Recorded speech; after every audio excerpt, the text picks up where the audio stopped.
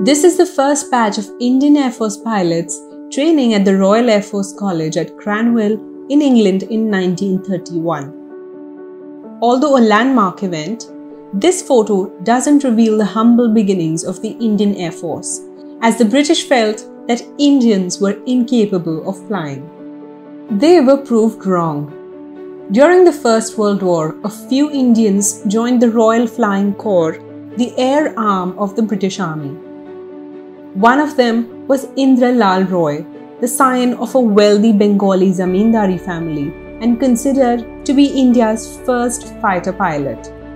Next, Indian units were used for operations against the tribes along the Afghan border as part of the British Air Force. They also took part in the historic Kabul airlift of 1928 and 1929 when the British and European diplomatic staff were airlifted from Kabul.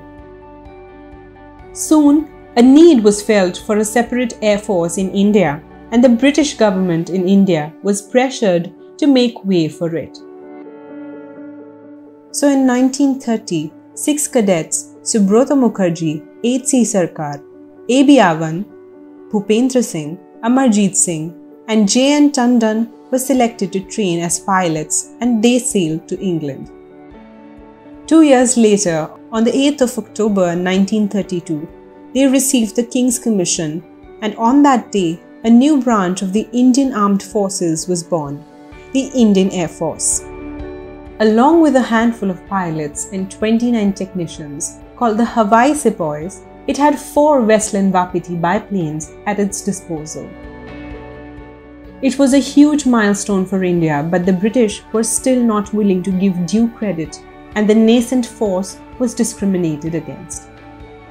Senior British officials were simply not willing to trust Indians with flying and maintaining complex machines like aeroplanes.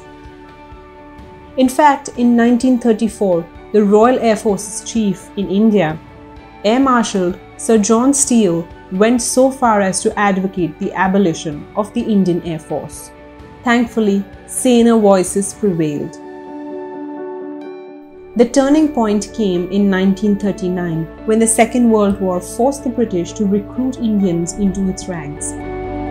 A sum of 17 million pounds had been sanctioned for the upgradation and the expansion of the Indian Air Force in India. And a volunteer reserve of civilian pilots was raised for the coastal defense at the crucial ports of Karachi, Bombay, Cochin, Madras, and Calcutta.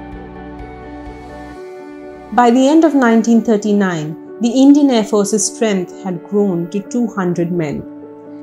In 1945, in recognition of the services rendered by the Indian Air Force, King George VI conferred on it the prefix Royal, but it was dropped when India became a republic in 1950. On the 1st of April 1954, India's President Rajendra Prasad presented the President's colours to the Indian Air Force in recognition of its service to the nation. On the same day, Subrata Mukherjee of the first batch of cadets and one of the founding members of the force took over as the first Indian Commander-in-Chief of the Indian Air Force. The IAF has come a long way since it was set up in 1932 and due credit needs to be given to the crucial role it played in the making of modern India not only during wartime, like in the Bangladesh Liberation War of 1971 and the Kargil War of 1999, but also in peacetime disaster relief operations, like during the Bhuj earthquake of 2001 and Uttarakhand flood of 2013. The Indian Air Force has indeed lived up to its motto, Nabha Sprusham Diptam, or touch the sky with glory.